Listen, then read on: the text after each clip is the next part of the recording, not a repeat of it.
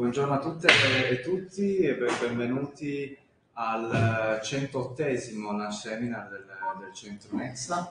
Eh, questo, mm, che è dal titolo, scusate, non ricordo il titolo, 107esimo eh, Seminar del Centro Nexa, il titolo è Analisi e report di trasferimenti di dati personali verso domini extra, extra europei.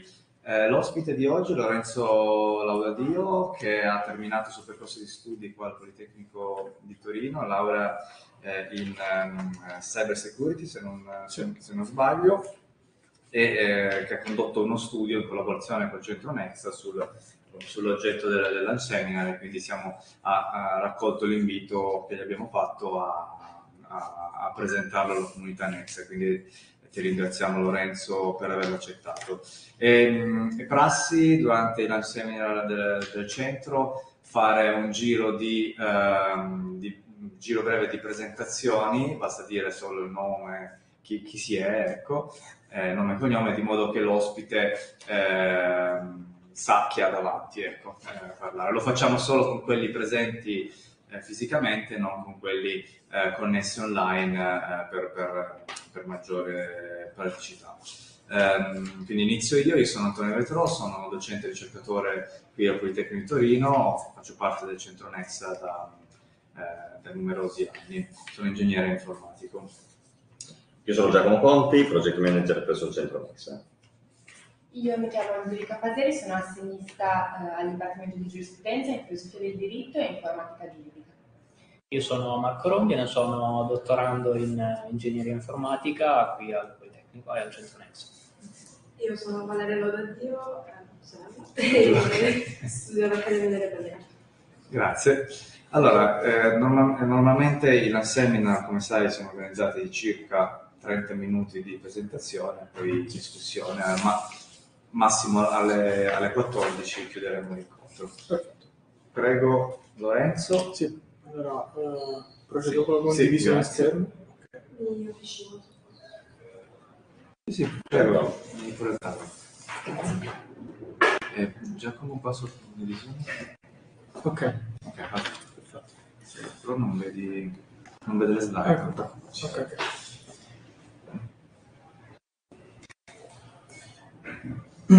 Allora, ehm, il titolo della tesi, come si può vedere dal, dalle slide è uh, Development of a Tool for the Automated Analysis and Reporting for Personal Data Transfer to Non-EEA Domains, uh, che sarebbe sviluppo di uno strumento per uh, l'analisi automatica e il reporting di trasferimenti di dati personali a domini al di fuori dell'area economica europea. E, insomma, come si può vedere dal titolo, um, questo progetto ha a che fare con um, problemi relativi alla privacy. Ecco. Um, la tesi è stata svolta in collaborazione con Monitor APA che ha dato un contributo abbastanza importante che è un'associazione eh, volontaria, su base volontaria di eh, sviluppatori prevalentemente, ma anche insomma, esperti di eh, diciamo, informatica in generale. Ecco. Um, la tesi è, diciamo, lo sviluppo di questa tesi è stato diviso in eh, tre parti. Prima di tutto um, si è analizzato lo, il background legale, ehm, quindi diciamo lo scenario in cui ci troviamo a livello legale, ehm, cercando di capire quali fossero le, le, ehm, i regolamenti del GDPR che ehm, sono alla base dei trasferimenti di dati personali tra eh, paesi in generale e più nello specifico mh, trasferimenti di dati personali dall'Unione Europea e dall'area economica europea a ehm, diciamo paesi esterni. Ecco. Um, in secondo luogo ho portato avanti lo sviluppo di un software che ho chiamato Minos, um, che fosse in grado di uh, permettere agli utenti di navigare uh, il web e durante la navigazione sul web um, registrasse tutte le richieste HTTP fatte a domini uh, extraeuropei e dopo vedremo insomma come. E infine un'analisi eh, sulla pubblica amministrazione italiana che ho condotto utilizzando una versione diciamo leggermente modificata di Minos, quindi il software appunto che ho sviluppato durante il percorso di tesi, ehm, appunto su, per cercare di capire insomma quali fossero i trasferimenti all'interno della pubblica amministrazione italiana e verso quali paesi fossero indirizzati. Quindi, come mm, forse saprete, insomma, dal 2018 abbiamo il GDPR in, in Europa, che è questo regolamento grande che eh, racchiude una serie di leggi eh, a cui sono soggetti i paesi all'interno dell'Unione Europea ehm, e che cerca, diciamo, di eh, si occupa di tematiche legate sia alla privacy che al trasferimento di dati personali. Quindi cosa dice il GDPR a proposito dei trasferimenti di dati personali? Allora, trasferimenti di dati personali dall'Unione Europea all'esterno dell'Unione Europea possono avvenire in uno di questi tre casi. Se la Commissione Europea ha emanato una decisione di adeguatezza eh, a proposito di un paese di destinazione, dopo vedremo nello specifico cosa significa, eh, se il controllore o ehm, diciamo il, il titolare o eh, colui che processa i dati eh, mette a disposizione delle safeguards, quindi diciamo delle misure eh, appropriate, oppure caso, nel caso in cui siano eh, disponibili alcune deroghe specifiche. Ecco. Uh, per quanto riguarda uh, il caso delle deroghe e il caso delle misure, diciamo, misure aggiuntive del titolare o del controllore, mh, non è un, una cosa che vedremo nel dettaglio, vorrei concentrarmi di più sulle decisioni di adeguatezza perché mm, mi verrebbe da dire che questo è il caso principale eh, con cui abbiamo a che fare. Gli altri sono, diciamo, dei corner cases, cioè dei casi un po' specifici. Ehm, quindi, che cos'è una decisione di adeguatezza? Una decisione di adeguatezza, eh, per, diciamo, tenerla semplice, eh, viene emanata dalla Commissione europea e sostanzialmente equivale a dire che un paese terzo esterno all'Unione Europea eh, provvede lo stesso livello di prote- protezione eh, per i dati personali che è disponibile all'interno dell'Unione Europea. Quindi, diciamo, sempre volendo semplificare, eh, in presenza di una decisione di adeguatezza è possibile trasferire dati personali dei cittadini europei al di fuori dell'Unione Europea. Sempre da un punto di vista legale eh, c'è una storia abbastanza travagliata per quello che riguarda gli Stati Uniti perché i rapporti tra Europa e Stati Uniti dal punto di vista dei trasferimenti di dati personali eh, sono stati sempre un po' frastagliati, mi verrebbe da dire. Eh, qui all'interno di questa timeline in blu è possibile vedere tutte le volte che eh, una decisione di adeguatezza è stata ehm, emanata in favore degli Stati Uniti quindi abbiamo nel 2000 il Safe Harbor Framework, nel 2016 il Privacy Shield e di recente nel 2023 il Data Privacy Framework. E il rosso tutte le volte che una decisione di adeguatezza è stata invalidata. Quindi abbiamo nel 2015 la cosiddetta sentenza Schrems 1 eh, con l'invalidazione Safe Harbor, nel 2020 l'invalidazione del Privacy Shield e mh, invece con altri colori ho voluto rappresentare alcuni eventi abbastanza significativi, ad esempio nel 2013, ehm, all'inizio del 2013 se vogliamo, eh, c'è stato il famoso Datagate da parte di Snowden che ha messo in evidenza ehm, le falle di quello che erano, se vogliamo, i rapporti tra Europa e Stati Uniti da un punto di vista della gestione dei dati personali, in realtà Stati Uniti e il resto del mondo.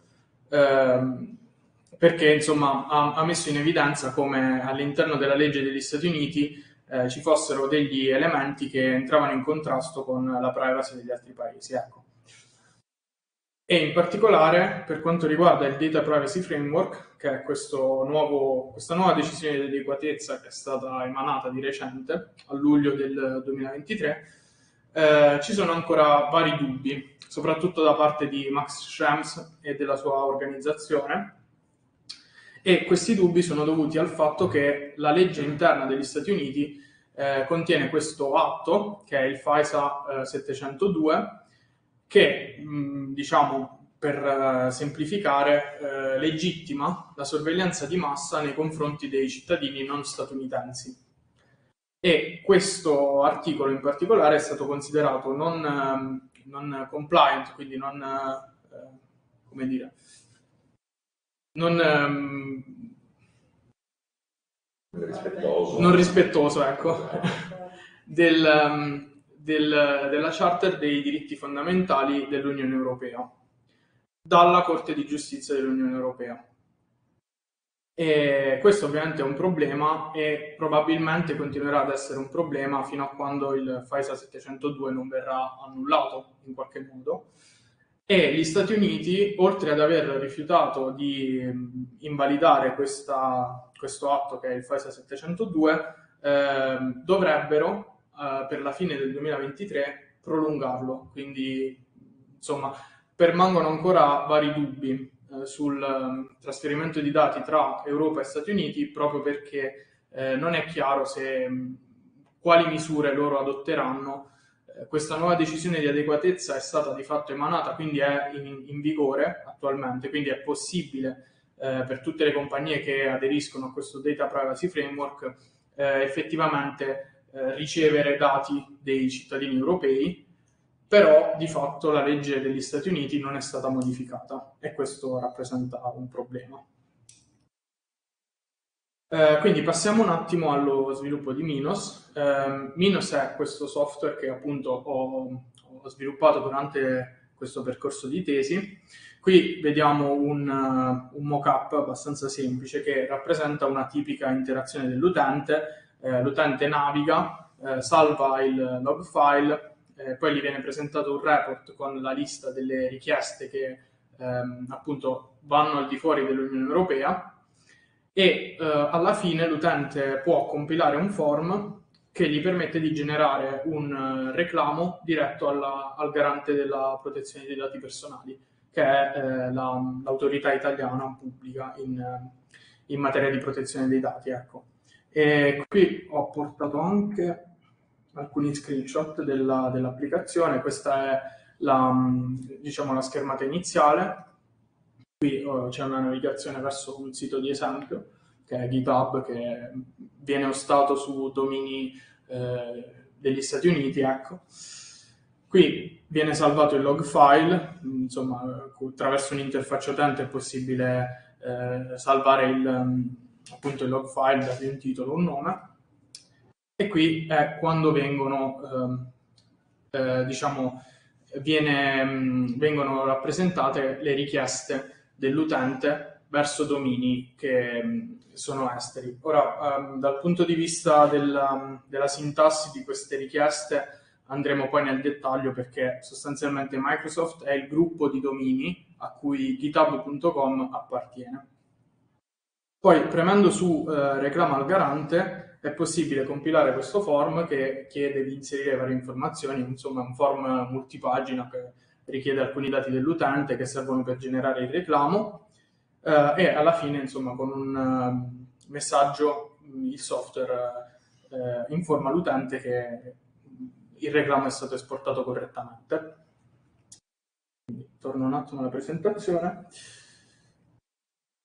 Ok, come funziona Minos uh, internamente? Allora, Minos si appoggia su una blacklist, quindi una lista di domini um, statunitensi, ma anche uh, russi e cinesi, uh, per il momento, perché in realtà questa blacklist può essere modificata, ampliata e probabilmente è quello che verrà fatto in futuro. Questa blacklist è stata creata da Monitor APA, appunto l'associazione con cui ho collaborato durante lo sviluppo di questa tesi, con la contribuzione di Federico Leva, che è uno sviluppatore e attivista italiano attualmente residente ad Helsinki. E quando ho contattato Federico per chiedergli quali fossero le metodologie utilizzate eh, per compilare questa lista, eh, lui mi ha detto che sostanzialmente ha controllato quali fossero i servizi più diffusi in Italia secondo il sito web buildwith.com che sostanzialmente raccoglie dei ranking, classifiche di utilizzo dei, dei siti web e dei servizi. Qui ci sono alcuni eh, requisiti specifici che ho ricevuto direttamente da Monitor APA durante lo sviluppo. L'applicazione doveva essere eh, interamente basata su un client, quindi eh, serverless, eh, non dovevo utilizzare un proxy, almeno questo è quello che mi hanno chiesto di evitare, eh, cercare comunque di minimizzare le dipendenze, avere una code base che fosse semplice e minima, quindi diciamo non, non aggiungere elementi troppo ridondanti, ecco. che fosse un'applicazione cross-platform, quindi disponibile per Windows, Microsoft, eh, Windows, Linux e, e macOS, e un'applicazione desktop.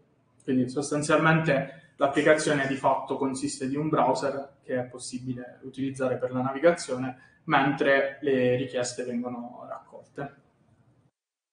Dal punto di vista dell'architettura, per lo sviluppo di Minos ho utilizzato il framework Electron, eh, che è un framework JavaScript, e quindi l'architettura di Minos dipende fortemente dal, dal process model di Electron.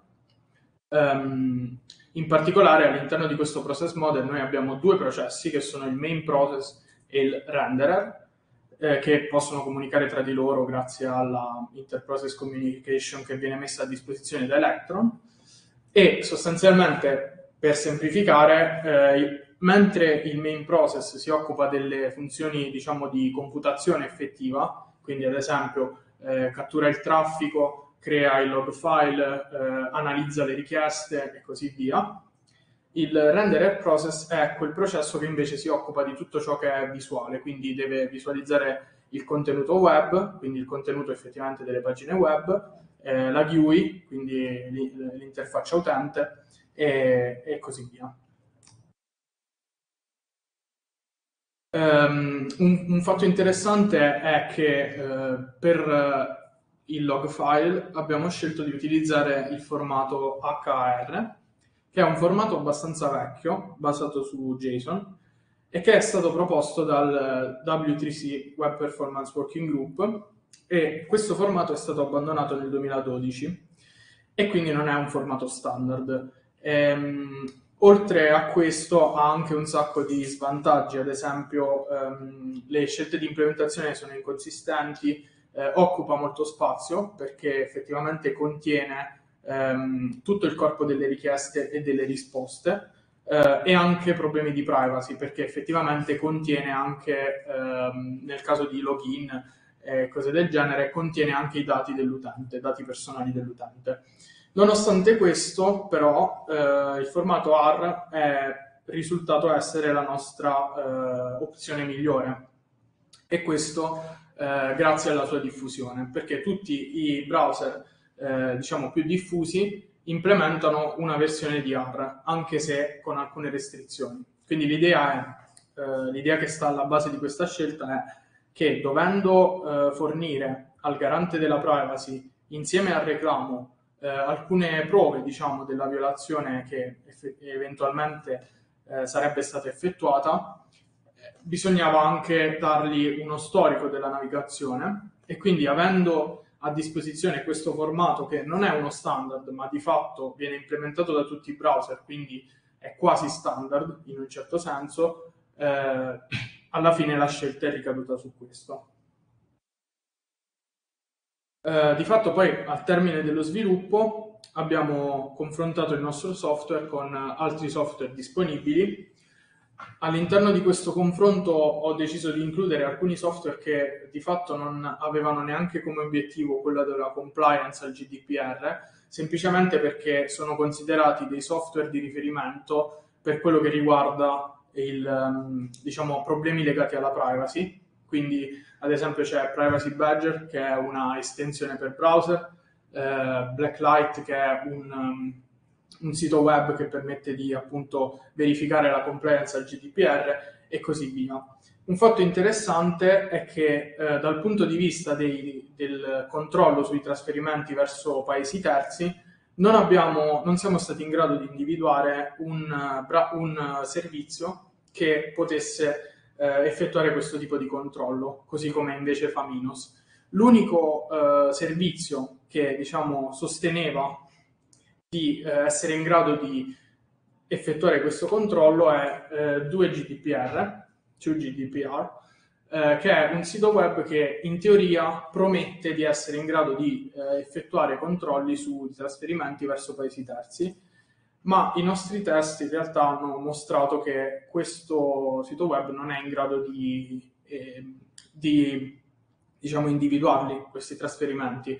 Ad esempio ho fatto delle richieste a dei domini eh, russi e cinesi che però non sono state individuate all'interno di, di, questo, di, di questa sessione di test. Quindi qua ho messo un asterisco per indicare che, insomma, in teoria eh, loro sostengono di essere in grado di farlo, in pratica no. E oltretutto, non essendo open source, è anche difficile capire quale sia il meccanismo che c'è alla base di questo eh, servizio. Ecco. E poi, come dicevo, l'ultimo, l'ultimo, step di questo lavoro di tesi è stato quello di eh, condurre un'analisi di massa sulle entità eh, della pubblica amministrazione italiana. Eh, tutti i dati che sono stati utilizzati vengo, provengono da Open Data IPA, che è un database pubblico che contiene una serie di informazioni sulle entità della pubblica amministrazione italiana e in particolare diciamo che abbiamo considerato questi due dataset che sono enti e categorie enti che sono disponibili, possono essere scaricati appunto da eh, Open Data IPA, sono dei file CSV o JSON.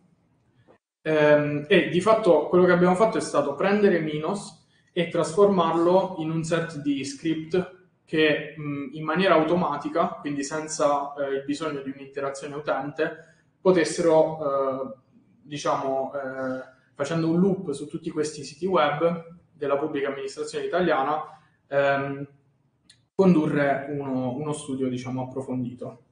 E all'interno del dataset erano presenti 22.890 entità della pubblica amministrazione, eh, ma in realtà soltanto 19.496 erano effettivamente contattabili. Eh, a causa di eh, siti web mancanti, errori, eh, errori di connessione e così via, che poi in realtà ho anche... Ehm... Allora, qui c'è eh, diciamo una, una statistica eh, in maniera grafica ehm, che rappresenta il numero di ehm, entità effettivamente che sono riuscito a contattare contro il numero di entità che non sono riuscito a contattare eh, e di queste una parte eh, erano effettivamente mancanti, quindi il sito web non era proprio presente, mentre la parte in arancione eh, non è stato possibile contattarla a causa di errori. Qui c'è anche una statistica basata sugli errori, sui tipi di errori che insomma, non sono stati ritornati durante la navigazione. Ehm, quindi, di fatto, su 19.000 eh, ehm, e passa, insomma, 19.496 entità, 3.008, quindi poco più del 15%, eh, sono state individuate nel fare richieste a provider di domini esteri. Eh, quindi mh, poco più del 15%, come dicevo, questa è una statistica interessante, ma presa così magari non è troppo interessante. La cosa più interessante è invece vedere a quali categorie appartengono eh, queste entità perché eh, al primo posto abbiamo comuni e loro consorsi e associazioni con più di mille entità. Ora, considerando che in Italia ci sono circa 7.000 comuni, eh, secondo me è un dato abbastanza interessante che circa uno su sette dei, dei comuni eh, effettivamente faccia delle richieste a eh, provider esterni all'Unione Europea. E mentre invece al secondo posto abbiamo istituti di istruzione statale di ogni ordine e grado, eh, quindi diciamo le scuole pubbliche di fatto, e anche questo dato secondo me è abbastanza interessante dal momento che i comuni e le scuole eh, hanno a che fare con dati abbastanza sensibili, no? eh, sia dei cittadini e sia degli studenti, quindi lo trovo un fatto anche interessante. Eh, dopodiché abbiamo cercato di dividere le richieste per dominio di appartenenza, ovvero prese tutte le richieste, eh, abbiamo considerato quale fosse eh, l'URL eh, di destinazione. E come è possibile vedere da questo grafico, il, al primo posto, in, con un netto distacco rispetto agli altri, ci sono i servizi di Amazon eh, AWS, che eh, è un provider di servizi cloud e che, diciamo, da parte di Amazon e che allo stato attuale domina di fatto il mercato del, del cloud. Poi ce ne sono anche altri, ma insomma, questa è una statistica ehm, basata sulla percentuale. Come è possibile vedere, Ama- i servizi di Amazon ha, diciamo, hanno quasi il 50% del, delle richieste, quindi effettivamente è un dato interessante. Dopodiché abbiamo deciso di raccogliere le richieste per gruppo di domini. Questo in realtà è stato semplicemente perché all'interno della blacklist i domini sono divisi per gruppi, quindi eh, ad esempio ehm, Facebook ha al suo interno diversi domini che sono tutti raggruppati sotto il, no, il gruppo Facebook, oppure eh, YouTube magari ha youtube.cn, youtube.ru e così via, però sono tutti raggruppati all'interno del, del gruppo YouTube. E qui di nuovo una statistica dove di nuovo Amazon Web Services eh, regna abbastanza incontrastato. Ehm, dopodiché un lavoro che eh, ho deciso di fare è stato quello di dividere eh, non più per gruppi ma addirittura per compagnie di destinazione. Quindi ad esempio Microsoft è una compagnia che eh, al suo interno offre diversi servizi, no? quindi ad esempio Azure che offre servizi cloud, ehm, non so, eh, GitHub che offre hosting del codice e così via. E anche qui è possibile vedere come tutte le compagnie che ci sono all'interno di questa lista di fatto sono compagnie provenienti dagli Stati Uniti. E questo è un dato interessante con l'analisi automatica, quindi eh, l'analisi appunto sulla pubblica amministrazione italiana, non sono stati individuati domini eh, russi o cinesi, soltanto degli Stati Uniti. Però di fatto, eh, qui c'è un discorso da fare sulla metodologia utilizzata, ehm, ci sono ancora dei dubbi su questi risultati, nel senso che eh, con la navigazione attraverso il software da interfaccia utente sono stati individuati alcune volte dei domini russi e cinesi.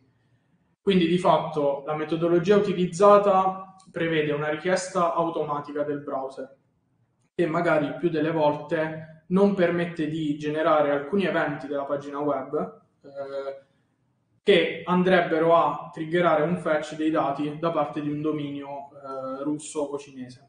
Qui c'è molto spazio di miglioramento da questo punto di vista L'idea sarebbe quella in futuro di utilizzare un, uno strumento per l'automatizzazione dei browser, come ad esempio Selenium, eh, e quindi eh, generare degli eventi che appunto con questa metodologia non vengono generati. I dati vanno presi cum grano salis. Ecco. Ehm, infine abbiamo deciso di eh, dividere le richieste per il tipo di servizio eh, appunto richiesto. Quindi eh, come è possibile vedere i primi due servizi sono servizi abbastanza indispensabili, sono cloud computing e eh, CDN, quindi Content Delivery Networks. E ehm, arrivo quindi alle conclusioni. Innanzitutto la prima considerazione è che dopo eh, tre anni dall'invalidazione del Privacy Shield ci sono ancora tante entità della pubblica amministrazione italiana che hanno difficoltà nel conformarsi al GDPR. E come seconda osservazione c'è il fatto che le compagnie big tech sembrano essere quello che di fatto domina il mercato, perché ehm, diciamo Amazon Web Service in questo caso, ma anche eh, Google, come è possibile vedere qui, sono di fatto dei, dei player incontrastati. E le motivazioni sono, mh, dal punto di vista di Amazon, forse il fatto che sia eh, uno dei primi service provider che ha approdato in Italia, eh, di fatto il primo, ehm, nel, nel, 2006, ehm, e i prezzi sono di fatto competitivi e allo stato attuale le alternative non sembrano essere così popolari, come ad esempio il self-hosting o il diciamo in generale appoggiarsi su eh, provider a livello europeo non sembrano essere eh, delle alternative praticabili. Ehm, questo conclude la presentazione, volevo far vedere soltanto le statistiche sempre in percentuale eh, basate sul tipo di servizio offerto, quindi cloud computing, e, mm, e sulla compagnia, quindi qui Amazon e Google eh, sono quelli che hanno diciamo, la fetta di mercato più grande. Eh, ok. Grazie. Allora, ehm, mettiamo di nuovo la, mettiamo la condivisione così possiamo vedere anche se ci sono. ehm, oh, ecco qua. Eccolo qua. Vediamo se ci sono anche domande da, eh, da casa. Allora inizio io con una domanda mentre eh, chi è da casa o collegato si scalda per farti Sì. eh, le loro domande. Eh, mi ricordo che ti avevo, ti avevo chiesto per, per gioco, per curiosità, di eh, lanciare Minos sul sito del centro Mensa. Sì, Ed era uscito fuori una richiesta e, Sì. e poi avevo fatto questa... avevo girato il, eh, il risultato e il dominio ecco, che Sì. era stato segnalato al nostro responsabile del, del sito che diceva, poi rispondeva, eh, ma quello è un componente imprescindibile del- di, di Drupal e Sì. quindi non, eh, non si può farne a meno. Ehm, quindi parto da questo, da questo piccola curiosità che avevamo soddisfatto, ecco, che, che- mi aveva aiutato a soddisfare sul sito Nexa per farti due domande. Allora, la prima è eh, ma che dati personali possono essere veicolati attraverso questo tipo di richieste che sono, immagino, richieste proprio di funzionamento, di, di plugin del sito piuttosto che aspetti specifici? Quindi, mm, Allora, questa è è la prima. La seconda è eh, eh, se secondo te è, perché questo è un aspetto che non abbiamo per mancanza di tempo, Sì. eh, non abbiamo approfondito nella tesi, se però con la tua conoscenza, eh, esperienza che hai fatto durante il lavoro, se secondo te queste, queste richieste che vanno all'estero sono più richieste appunto di, di funzionamento o se invece veicolano proprio dei dati eh, dati sensibili. sì, più che altro se sono la, la missione ecco, di queste, l'utilità di queste ri- richieste verso l'estero sia proprio quello di veicolare dati sensibili e non quello di far funzionare un plugin. Sì. Allora, in realtà per come il GDPR definisce i dati personali, perché all'interno del GDPR nella sezione iniziale c'è proprio una sezione che diciamo affronta il tema del vocabolario in cui definisce cos'è dati personali. Esatto. E, se non sbaglio l'articolo 4 di... quattro le definizioni. Ok. Ehm, definisce quelli che sono i dati personali e sono intesi come dati personali in maniera, diciamo semplificando, tutto ciò che rende individuabile eh, un individuo inteso come individuo informatico, cioè un host, un computer, una persona fisica e così via.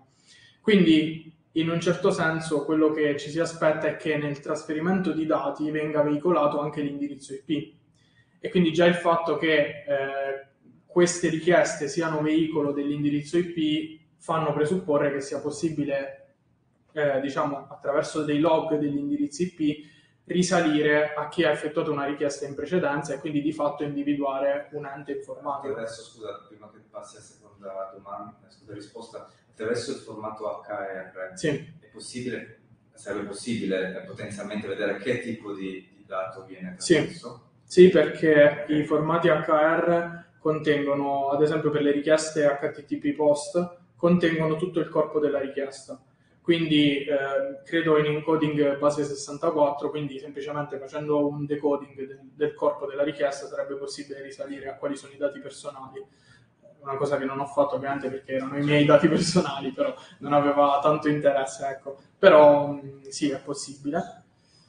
E dal punto di vista della seconda domanda, eh, credo che serva uno studio un po' più approfondito per capire effettivamente se questi dati sono dati personali, se vengono utilizzati per l'individuazione, però di fatto se ci basiamo sulle rivelazioni appunto fatte da Snowden nel 2013, di fatto eh, questi dati personali sono stati utilizzati per individuare utenti e così via. Diciamo che, eh, correggimi se sbaglio, se eh, sto speculando sulla possibile Sì. continuazione e approfondimento del lavoro, se eh, automatizzando, come Sì. è stato anche fatto, un po' di richieste, andando a, anche ad analizzare in maniera automatica i contenuto delle, delle, del, del, po- dell'RTT post, Sì. anche se laddove ci siano dei dati personali o fittizi o, o relativi al solo tuo computer, però è possibile estrapolare le categorie di dati, Sì, quindi non il dato in sé che chi se ne frega, ma la categoria di dato e andare a mappare cosa viene trasmesso, quindi per capire anche quali sono i potenziali rischi. Sì, servirebbe probabilmente un approccio un pochino più un lavoro un pochino più approfondito perché probabilmente servirebbe proprio entrare all'interno delle richieste, cercare di Però individuare tecnicamente possibile. tecnicamente è possibile. sì. Io ho qualche domanda, se posso.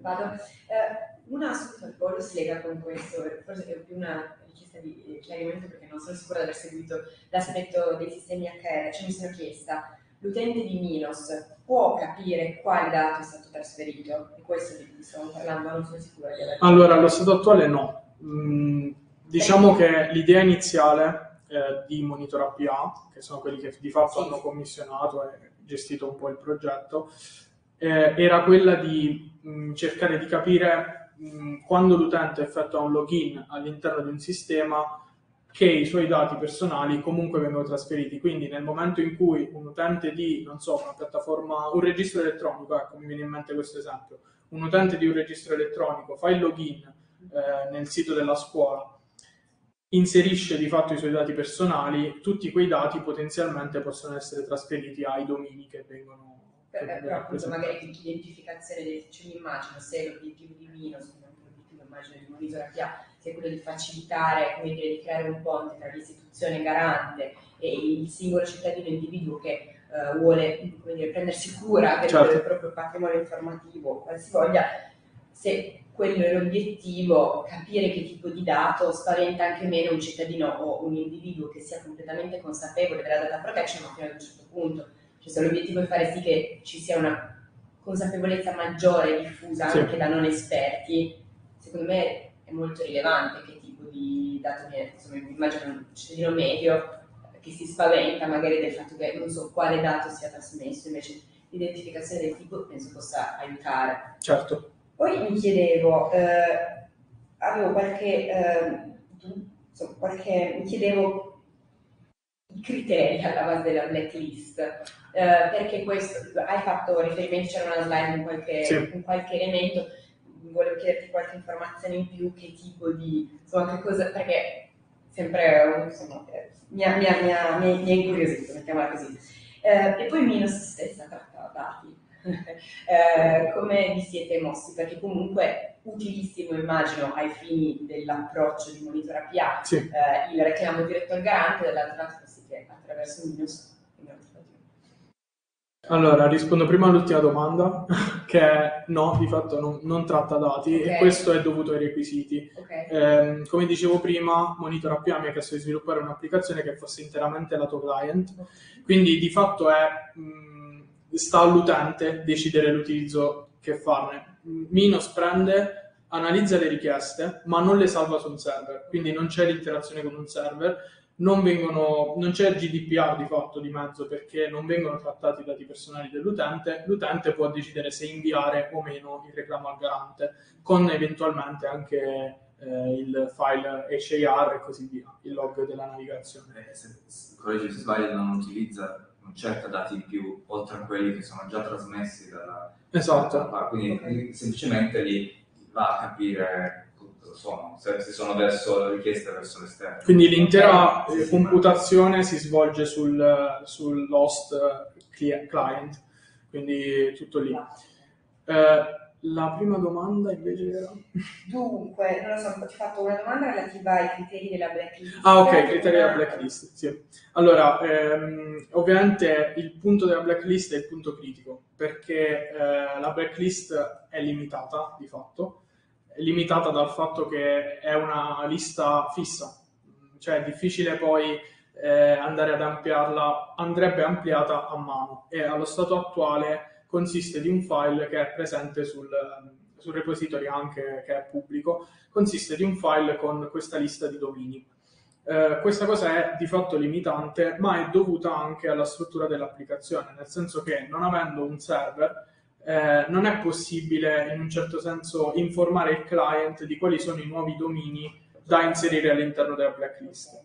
Però uno spunto interessante di miglioramento sarebbe quello di andare ad identificare attraverso una query DNS eh, la provenienza del, del, dominio. Di fatto il DNS è questo sistema che permette di eh, individuare la provenienza di, ehm, partendo da una stringa, ecco, trasforma la stringa in un codice IP, in un, in un numero IP che, che, viene utilizzato per connettersi ad un sito ed è quello che di fatto ci permette di scrivere google.com al posto di 192. Sì, ecco.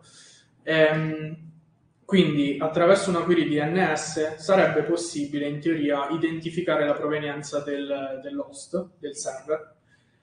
Ci sono ancora dei, dei, dubbi su questa cosa, nel senso che alcuni server risiedono in alcune zone che magari non sono, ehm, non sono di fatto stessa, lo stesso paese di residenza della compagnia certo. alle spalle. Quindi qui si pongono alcuni problemi ad esempio, per produrre la slide dove io ho diviso per compagnie, sì. ho dovuto fare una ricerca manuale di fatto. Eh, per, ogni, per, ognuno dei servizi presenti all'interno della lista ho dovuto cercare quale fosse la compagnia di appartenenza.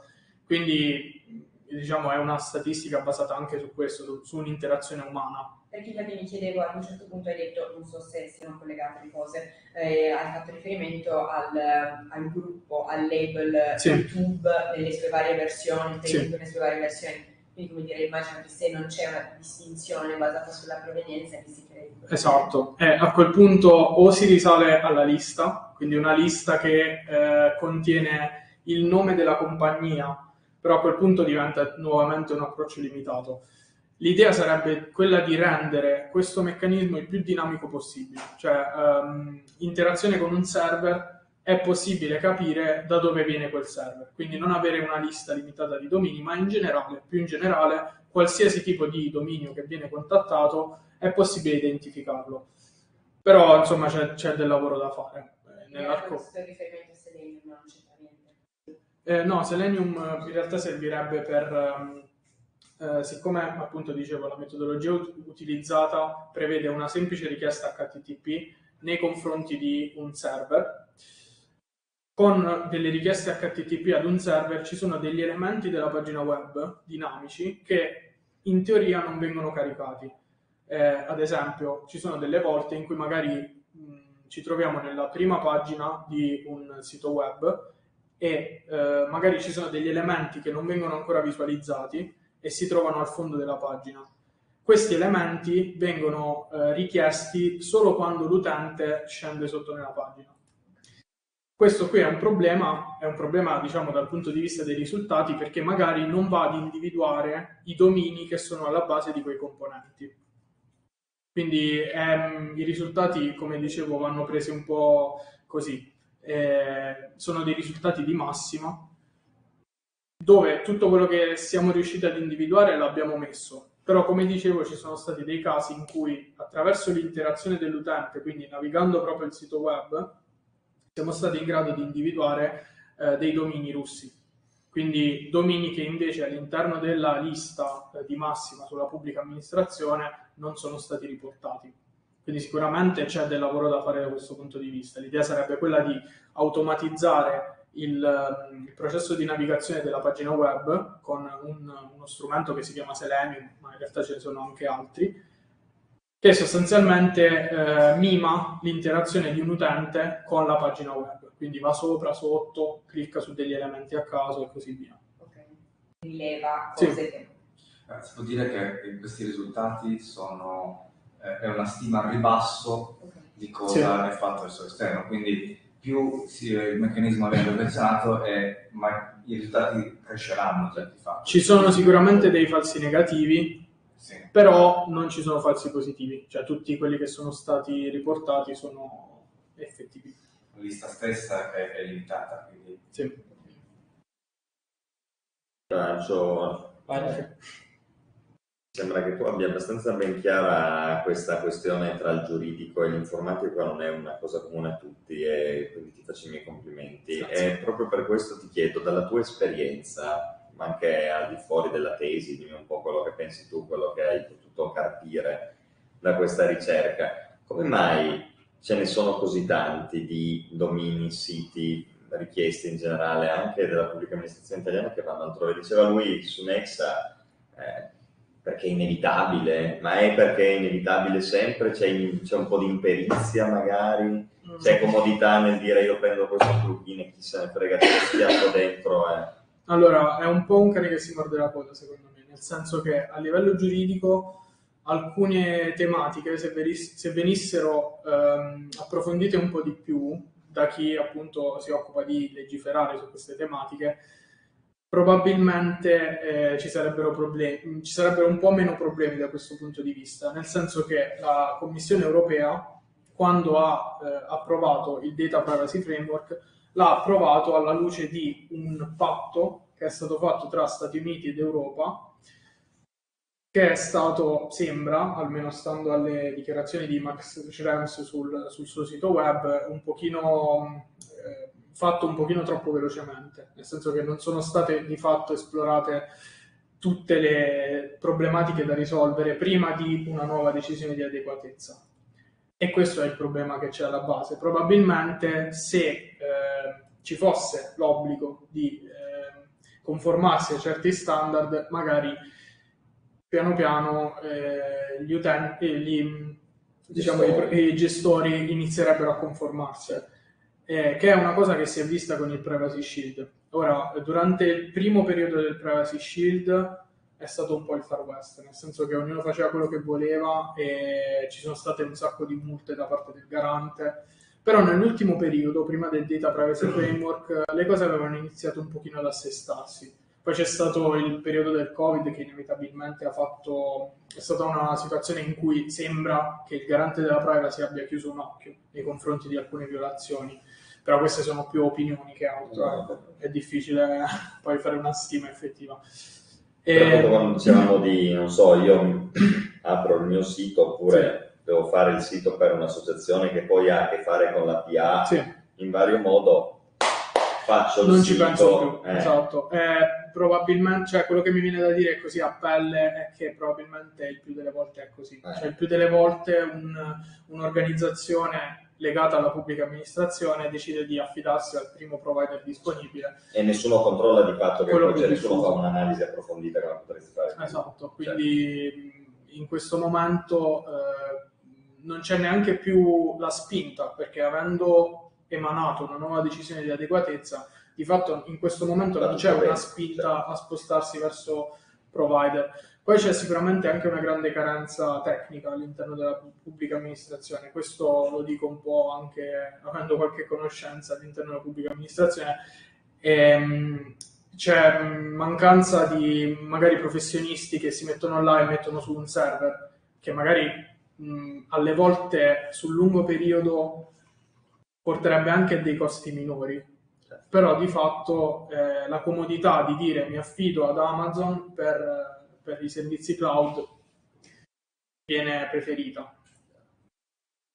Eh, sì, faccio un commento e poi faccio un paio di domande. Ehm, sì, legata a questo penso anch'io che sia una questione soprattutto tecnica e l'auspicio mi viene a dire sarebbe che quantomeno a livello nazionale, poi se pensassimo a livello europeo sarebbe anche quello un auspicio utile, però insomma, che il pubblico fornisca gli strumenti, quantomeno appunto per esempio in Italia le pubbliche amministrazioni eh, per poter realizzare più semplicemente e ad esempio ospitare i propri siti in dei server che siano collocati sì. in Italia, perché così riesce ad avere un pieno controllo. E sui costi mi viene da citare l'esempio del, di quello che hanno fatto più o meno tutte le scuole post pandemia che tutti si sono affidati inizialmente ai vari Google Classroom, eccetera, inizialmente offerti gratuitamente, ora pagati fior fior di denari e con ovviamente un enorme travaso di dati super sensibili di, di soggetti estremamente eh, delicati come possono essere i minorenni, i bambini, eccetera,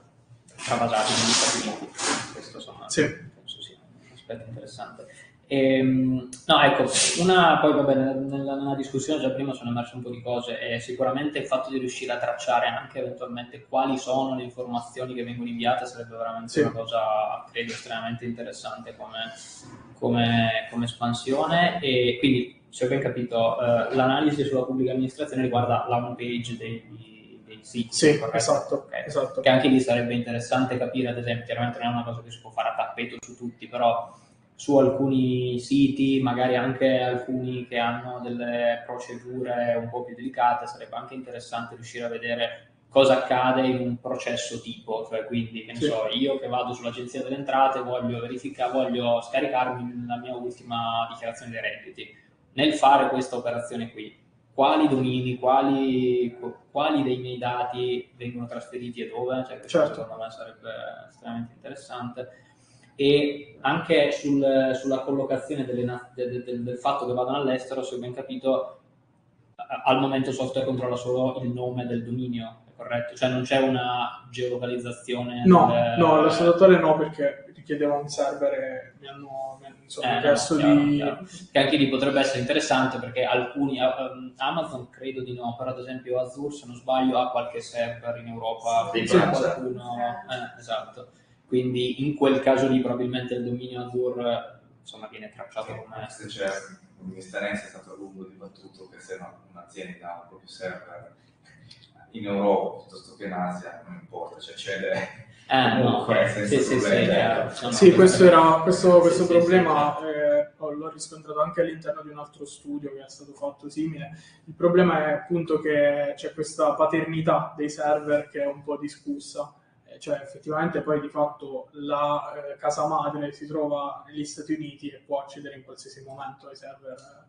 Ehm, hai, hai trovato molti mh, cioè, di, di, eh, collegamenti con siti, ad esempio, di reti di ad network? eh, ah, ne hai trovato qualcuno in questo tipo di analisi? Sì. no? Però non sono i- effettivamente i principali, eh, c'è qualcosa di... Perché quelli ha- hanno anche, tra virgolette, il, il vizio in più che quelle reti di, di, di, appunto, di ad network. Poi si salvano i cookie di tutti i siti che cioè, ogni volta che tu accedi a un sito che ha quella ad network si salva il proprio cookie di, Sì, questo si salvano il era... proprio cookie quali sono i siti che stai visitando e quindi questo offre chiaramente il- Sì, questo era un'altra, un'altra, diciamo un altro sviluppo interessante, era quello di lavorare sui cookie, anche se, ripeto, andrebbe comunque estesa la metodologia di, di lavoro perché comunque andando a vedere i cookie, i cookie magari provengono dallo stesso dominio, quindi non, non c'è troppo interesse ecco, nel vedere. Però in realtà mh, sì, eh, ho trovato qualcosa, però non troppo. Eh, trattandosi di pubblica amministrazione, poi magari sono anche un po' limitate le cose. L'idea di farlo sulla pubblica amministrazione è dovuta banalmente al fatto che c'è un database pubblico che raccoglie tutti i dati della pubblica amministrazione, quindi anche per comodità e anche perché di fatto poi sono quelle che trattano i dati, se vogliamo, più sensibili. Beh, poi anche solo tutti quei servizi di diciamo, analisi delle azioni che fa l'utente sul sito che spesso vengono utilizzati come diagnostico, come, Sì. cioè, in realtà quelli potenzialmente contengono una quantità di informazioni enorme, Certo. sai esattamente quali, Dove hai mosso il cursore del come hai mouse. mosso il mouse, Sì, poi là ci sono tecniche di fingerprinting eh, evolutissime, Eh, quindi insomma. andrebbe... Sì, e, sì. e la maggior parte insomma Firebase credo sia uno di quelli più utilizzati Sì. come insomma quelli di, di Google, Amazon eccetera ne hanno diversi che sono molto molto utilizzati Sì. Ultima domanda che mi è, Sì. quanto è complicato adottare un'applicazione del genere ad esempio a un plugin per È bravo, browser? anche io, è vero, bravissimo. Come? Quanto sarebbe complicato adattare un'applicazione del genere a diventare un plugin per un browser Uh, allora, in realtà era una, um, un'opzione che avevamo valutato all'inizio, però poi mh, diciamo, eh, i membri di Monitor APA con cui ho discusso mi hanno detto no, guarda, vogliamo un'applicazione desktop. Però effettivamente secondo me non troppo, nel senso che eh, di fatto Electron si basa sul fatto che sotto ci sia un motore Chrome che gira, una Chrome Engine, quindi secondo me effettivamente non troppo difficile. Firefox ha un meccanismo di generazione dei file HR molto simile ehm, e probabilmente può essere ugualmente istruito, magari con delle API leggermente diverse, però può essere istruito per individuare appunto eh, richieste, dominio della richiesta e così via.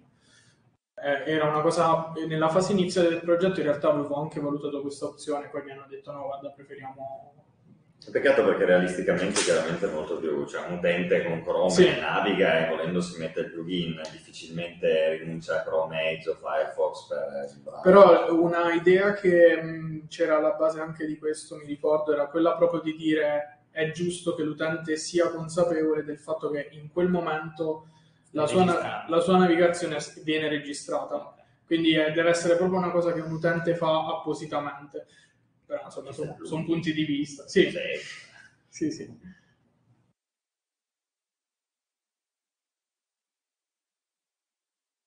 sono altre domande? Abbiamo ancora 5 minuti, non siamo costretti a saturare il tempo. Un attimo, vediamo se qualcuno del remoto vuole fare qualche domanda. Presenza.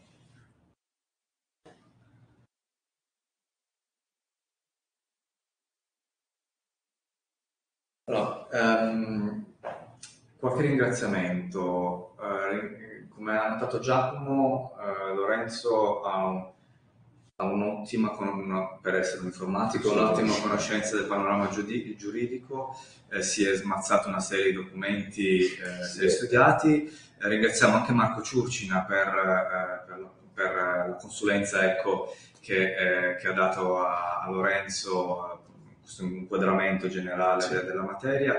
Ovviamente ringraziamo Monitor APA in maniera collettiva, non individualmente le singole eh, persone, ehm, per l'appoggio che eh, hanno dato a Lorenzo nella, eh, durante la tesi.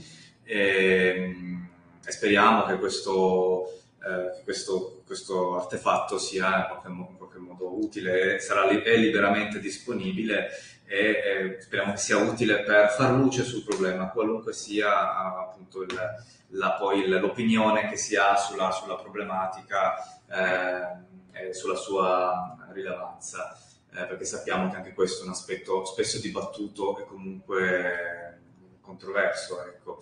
Eh, ringraziamo Lorenzo non solo per, per, per, il, per la disponibilità al, al al seminario, ma perché il seminario è venuto il giorno dopo la sua discussione di, di laurea, quindi nemmeno il tempo di, di, di eh, festeggiare che già doveva tornare operativo. Quindi grazie Lorenzo, sarà tra qualche giorno sarà proclamato eh, a tutti gli effetti ingegnere informatico, eh, posso anticipare che lo, che lo, sarà a pieni voti, quindi oltre ai ringraziamenti, congratulazioni. Eh, grazie.